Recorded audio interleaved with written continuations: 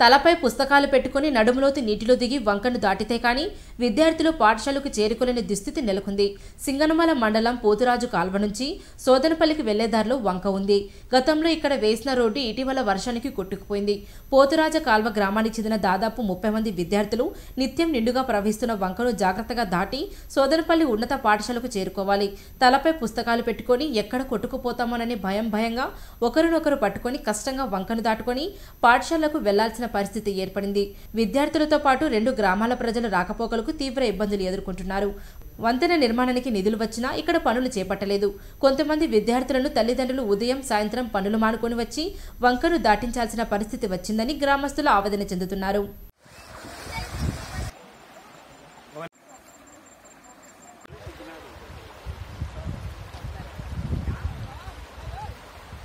పైన. నానండి నేనే కొడతాను అది అడుగు. మళ్ళీ ఏందో పడతా. నార్పల్లి రెండు నిలబడిపోయినాయి. నార్పల్లి కూడా అంతే చూడు. చెప్తారా? ఉంది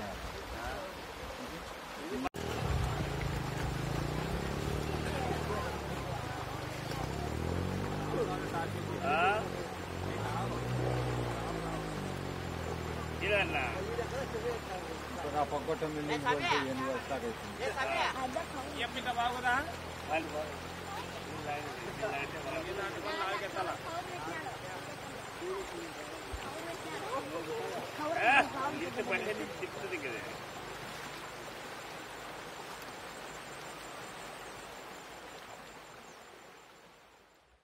టెన్త్ క్లాస్ చదువుతున్నాను సోదరపల్లి గ్రామంలో చదువుతున్నాను.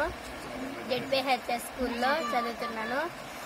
మాది పోతరాస్ కాలం నుండి సోదంపల్లికి పోవాలంటే మూడు కిలోమీటర్లు నడచాలి. వచ్చే పోయేకి సిక్స్- ఆరు కిలోమీటర్లు నడిచి వచ్చిన మాకి రోడ్ అయిపోయింది. వంకలు దాటాలంటే మేమందరం కలిసి పోయి చేతులు పట్టుకొని పోతున్నాం. లోతుగా వస్తున్నాయి మునిగిపోవాలని ఎక్కడెక్కడ భయం వేస్తుంది కిలోమీటర్ పోవాలి. మధ్యలో వంక వస్తుంది. మా పేరెంట్స్ దాటిచ్చేకి మా పేరెంట్స్ వచ్చి పోయేకి పేరెంట్స్ వస్తున్నారు. చాలా ఇబ్బంది పడుతున్నాము. జెడ్పీహెచ్ఎస్ స్కూల్ చదువుతున్నాను. పొద్దురాస్కాల నుంచి స్కూల్కి పోవాలంటే మూడు కిలోమీటర్లు. మధ్యలో వంక ఉంది. ఆ వంక కోసింది. నడుములోకి నీళ్ళు వస్తున్నాయి. ఎక్కడ కొట్టుకొని పోతామో కూడా భయం భయం భయంగా ఉంది. మాకు రోడ్డు వేయాల్సిందిగా కోరుతున్నాం. మా తల్లిదండ్రులు అలాగే పనులు విడిచిపెట్టుకొని వచ్చి మమ్మల్ని దాటిస్తున్నారు. రోడ్డు వేయాల్సిందిగా కోరుతున్నాం. చరణ్ నేను పోతరాజు కాలం నుంచి సోదంపల్లి వరకు మూడు కిలోమీటర్లు నడచ నడచాలి. మా ఊర్లో స్కూల్ లేక మేము రోజు మూడు కిలోమీటర్లు నడుస్తున్నాం. మా మాకు రోడ్డు కోరుతున్నాం నేను?